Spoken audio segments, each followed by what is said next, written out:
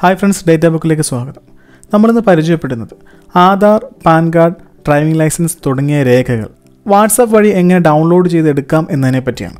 അപ്പോൾ ആദ്യമായിട്ടാണ് ഈ ചാനൽ കാണുന്നതെങ്കിൽ സബ്സ്ക്രൈബ് ചെയ്യാനും അതോടൊപ്പമുള്ള ബെല്ലൈക്കൻ കൂടി ക്ലിക്ക് ചെയ്യാനും മറക്കരുത്. അതോടൊപ്പം ഈ വീഡിയോ നിങ്ങൾക്ക് ഇൻഫർമേറ്റീവായി തോന്നിയാൽ നിങ്ങളുടെ ഫ്രണ്ട്സിലേക്ക് ഷെയർ ചെയ്യാനും മറക്കരുത്. അപ്പോൾ ഇനി എങ്ങനെയാണ് നമുക്ക് ചെയ്യാമെന്ന് നോക്കാം. ഇതിനാദ്യമായിട്ട് നമ്മളൊരു നമ്പർ സേവ് ചെയ്യേണ്ടതായിട്ടുണ്ട്. ഇത് ഗവൺമെന്റിന്റെ ഒഫീഷ്യൽ നമ്പറാണ് അപ്പം ഈ ഒരു നമ്പർ എന്ന് പറഞ്ഞാൽ nine zero one three one five one five one five എന്ന നമ്പറാണ് ഇത് my G O V help desk എന്ന് പറഞ്ഞിട്ട് നമ്മുടെ കോൺടാക്റ്റിലേക്ക് സേവ് ചെയ്യുക. സേവ് ചെയ്തതിന് ശേഷം വാട്സപ്പ് ഓപ്പൺ ചെയ്യുക. വാട്സപ്പ് ഓപ്പൺ ചെയ്തിട്ട് റൈറ്റ് സൈഡിൽ കാണുന്ന ഈ ഒരു മെസ്സേജ് എന്ന് പറയുന്ന ഈ ഒരു ഒരു പോർഷനിൽ ക്ലിക്ക് ചെയ്യുക. എന്നിട്ട് റൈറ്റ് സൈഡിൽ മുകളിലായിട്ട് കാണുന്ന ഈ ഒരു മൂന്ന് ഡോട്ട് ക്ലിക്ക് ചെയ്തതിന് ശേഷം റിഫ്രഷ് എന്ന് പറയുന്നത് ജസ്റ്റ് ഒന്ന് കൊടുക്കുക. റിഫ്രഷ് കൊടുക്കുന്നതിന്റെ കാര്യം എന്ന് പറഞ്ഞാൽ ഫസ്റ്റ് ടൈം നമ്മൾ ഈ ചിലപ്പോൾ ചില മൊബൈലുകളിൽ ഇങ്ങനെ നമ്പർ സേവ് ചെയ്യുമ്പം പെട്ടെന്ന് വാട്സാപ്പിലേക്ക് വരണമെന്നില്ല. അതിന് വേണ്ടിയിട്ടാണ് നമ്മൾ റിഫ്രഷ് കൊടുക്കുന്നത്. റിഫ്രഷ് കൊടുത്തതിന് ശേഷം ഇവിടെ തന്നെ ഈ സെർച്ച് ഒരു ഐക്കണിലൊന്ന് പ്രസ് ചെയ്യുക. എന്നിട്ട് മൈ ജി ഒ വി എന്ന് ഒന്ന് ടൈപ്പ് ചെയ്ത് കൊടുക്കുക. അപ്പോൾ തന്നെ നമുക്ക് എന്ത് ചെയ്യുന്നു? അതിന്റെ ഒരു കോൺടാക്റ്റിന്റെ അത് വന്നിട്ടുണ്ട്. My Jio we help desk എന്ന് വന്നിട്ടുണ്ട്. അത് ജസ്റ്റ് ഒന്ന് ക്ലിക്ക് ചെയ്യുക. ക്ലിക്ക് ചെയ്തതിന് ശേഷം ഇതൊരു ചാറ്റ് ബോട്ടാണ് അപ്പോൾ ഇതിലേക്ക് നമ്മൾ എന്ത് ചെയ്യുക? മെസ്സേജ് ചെയ്ത് കഴിഞ്ഞാൽ അതിനവർ റിപ്ലൈ ചെയ്യും. അപ്പം ഇതിലേക്ക് നമ്മൾ ഹലോ എന്നോ അല്ലെങ്കിൽ നമസ്തേ എന്നോ ടൈപ്പ് ചെയ്യുക. ഞാനിവിടെ ഹലോ എന്ന് ടൈപ്പ് ചെയ്ത് ഒന്ന് മെസ്സേജ് ചെയ്യുകയാണ്. അപ്പോൾ ഹലോ എന്ന് ടൈപ്പ് ചെയ്ത് ഞാൻ ജസ്റ്റ് ഒന്ന് മെസ്സേജ് ചെയ്തു. അപ്പോൾ അതിന്റെ റിപ്ലൈ ഇപ്പം നമുക്ക് കിട്ടും. ഇവിടെ അവർ പറഞ്ഞിരിക്കുന്നത് please select one of the options to proceed ഇതിൽ നമുക്ക് കോവിൻ സർവീസും ഉണ്ട്. അതോടൊപ്പം തന്നെ ഡിജി ലോക്കർ സർവീസ് എന്ന് പറയുന്ന ഒരു ഓപ്ഷൻ ഉണ്ട്. അപ്പോൾ ഡിജി ലോക്കർ സർവീസ് എന്ന് പറയുന്ന ആ ഒരു ഓപ്ഷൻ ജസ്റ്റ് ഒന്ന് ക്ലിക്ക് ചെയ്യുക.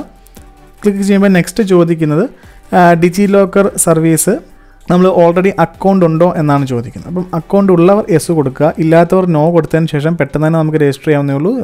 നമ്മുടെ ആധാർ നമ്പർ കൊടുത്തു കഴിഞ്ഞാൽ ആ ലിങ്ക് ചെയ്ത മൊബൈൽ നമ്പറിലേക്ക് ഒരു ഒ ടി പി വരും. അങ്ങനെ നമുക്ക് രജിസ്റ്റർ ചെയ്യാം. ഇപ്പം ഞാനിവിടെ ഓൾറെഡി ഉള്ളത് കൊണ്ട് എസ് കൊടുക്കുകയാണ്.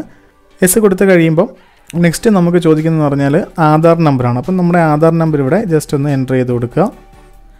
ഇങ്ങനെ ആധാർ നമ്പർ എന്റർ ചെയ്യുമ്പോൾ ആധാറുമായി ലിങ്ക് ചെയ്തിട്ടുള്ള മൊബൈലിൽ ഒരു ഒ ടി പി നമുക്ക് ലഭിക്കുന്നതാണ്. അപ്പോൾ ആ ഒരു ഒ ടി പി നമ്മൾ ഇവിടെ എന്റർ ചെയ്ത് കൊടുക്കേണ്ടതാണ്.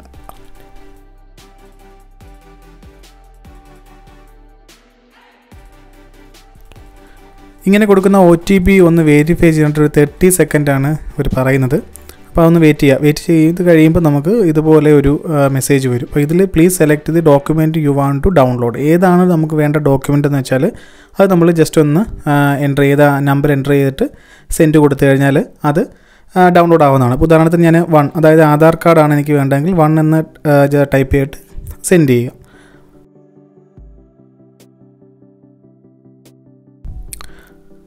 അപ്പോൾ നമുക്ക് ആ ആധാറിന്റെ പി ഡി എഫ് ആണ് ഇവിടെ കിട്ടിയിരിക്കുന്നത്. പി ഡി എഫ് നമുക്ക് ജസ്റ്റ് ഒന്ന് ഓപ്പൺ ചെയ്ത് കഴിഞ്ഞാൽ അത് ഓപ്പൺ ആവുന്നതാണ്. ഇനി നമുക്ക് എന്ത് ചെയ്യാം? അതർ ഡോക്യുമെന്റിൽ കൊടുത്തു കഴിഞ്ഞാൽ മറ്റ് ഡോക്യുമെന്റ് ഏതെങ്കിലും വേണമെന്നുണ്ടെങ്കിൽ അത് നമുക്ക് ഡൗൺലോഡ് ചെയ്തെടുക്കാവുന്നതാണ്.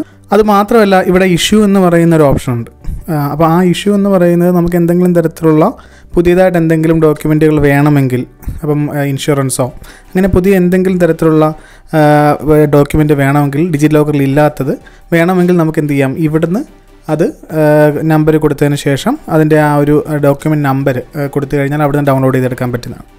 അപ്പോൾ തീർച്ചയായും ഈ ഒരു വീഡിയോ ഇഷ്ടപ്പെട്ടെങ്കിൽ നിങ്ങളുടെ ഫ്രണ്ട്സിലേക്കൊക്കെ ഷെയർ ചെയ്യാൻ മറക്കരുത്. അപ്പോൾ നമുക്കിനി അടുത്ത വീഡിയോയിൽ കാണാം.